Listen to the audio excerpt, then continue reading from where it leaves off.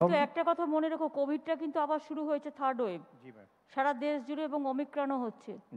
সুতরাং এই সময়টা স্কুল কলেজ চালু রাখা থাকবে কি না সেটা নিয়ে একটু রিভিউ করো।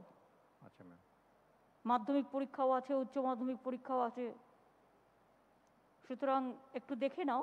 জি ম্যাম জি ম্যাম ম্যাম সেখানে যাতে কোভিড সিস্টেমটা মেনটেন করা হয়। জি ma'am in fact covid norms protocol maintain করেই অ্যাডভাইস করা হয়েছে ম্যাডাম আর সেভাবেই আমরা প্ল্যানগুলো প্রত্যেক জেলাগুলি থেকে থার্টি ফার্স্ট ডিসেম্বরে আনিয়ে নিচ্ছি যাতে আমাদের সঙ্গে তাদের কন্ট্যাক্ট কন্টিনিউয়াস ওটা থাকে যোগাযোগ থাকে ম্যাডাম এছাড়াও ম্যাডাম আমরা স্কুলগুলি ও কলেজগুলি টিচারদেরও বলেছি যারা ছাত্রছাত্রী যারা আছে তাদের বাড়ি বাড়ি গিয়েও তাদের সঙ্গে কথা বলা মানে যেহেতু elementary level of the school বন্ধ আছে ম্যাডাম তো সেখানে বাড়ি বাড়ি ভিজিট করার জন্য আমরা বলেছি জেলাও ম্যাম সাত দিন ধরে তারা অনেকগুলো প্রোগ্রাম ওখানে নেবেন ম্যাম। র্যালি আছে তারপরে ট্যাবলিউ আছে ম্যাডাম সেরকম রাজ্য জুড়ে ম্যাম পুরো প্রোগ্রামগুলো আপনার নির্দেশ অনুযায়ী আমরা প্ল্যান করে নিয়েছি ম্যাডাম প্রত্যেক জায়গায় পাঠিয়েও দিয়েছি। কোভিড পরিস্থিতিটা নজরে রাখো।